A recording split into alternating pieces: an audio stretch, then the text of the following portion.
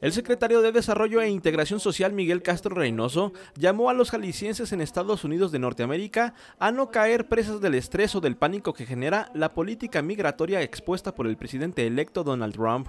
Durante una gira de trabajo por la Unión Americana, señaló que se detectaron asesores legales fraudulentos que cobran a mexicanos beneficiarios de proyectos de inclusión laboral, de salud y escolar miles de dólares para que no se les identifique como migrantes. Detectamos que hay personas que incluso en los Estados Unidos han sido sujetas ya de pseudo abogados que pretenden cobrar hasta 800 o 1000 dólares por ofertarles algo que es imposible, borrarlos del padrón del decreto del DACA.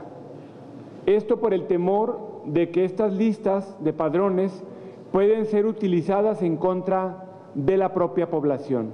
Por tal motivo, dijo, es necesario que los connacionales mantengan diálogo abierto con las autoridades consulares de México y con el Instituto Jalisciense para los Migrantes, con el fin de conocer las estrategias más adecuadas para que una eventual política migratoria extrema no afecte.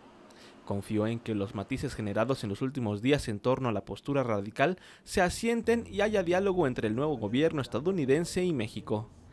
El alcalde de Chicago en donde hay una fuerte comunidad de mexicanos y particularmente de jaliscienses, ha declarado que Chicago seguirá siendo una ciudad santuario, por lo que quienes allá viven pueden tener ya la tranquilidad de que no habrán de tener una persecución por parte de las autoridades locales.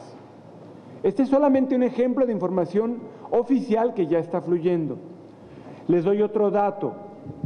El presidente electo hace un par de días declaró, matizando ya sus declaraciones, que solamente habrán de repatriar a personas que hayan cometido felonía.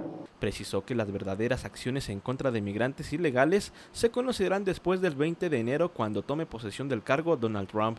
Dijo que solicitará una partida extraordinaria para ofrecer asesoría legal gratuita a los jaliscienses en Estados Unidos.